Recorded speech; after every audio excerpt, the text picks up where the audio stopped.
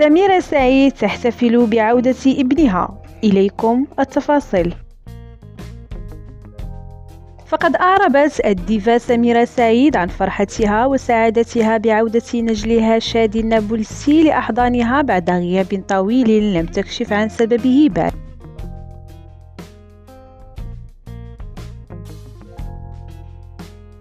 ونشرت سميرة سعيد عدة صور لها برفقة ابنها الوحيد.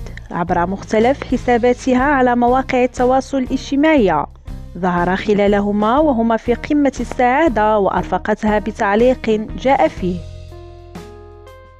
أهلا بعودتك من جديد حبيبي شادي. ومن جهته نشر شادي النابلسي صورة واحدة لوالدته تظهر إلى جانبه عبر حسابه الشخصي على موقع التواصل الاجتماعي الإنستغرام علق عليها قائلا كنت مفتقدك.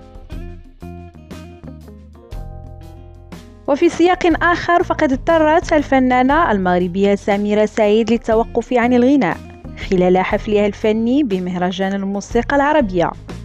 وقد انفعلت سميرة سعيد على المايسترو محمد عرام بسبب تغير المقامات وذلك أثناء تقديمها أغنيتها الشهيرة قلجاني بعد يومين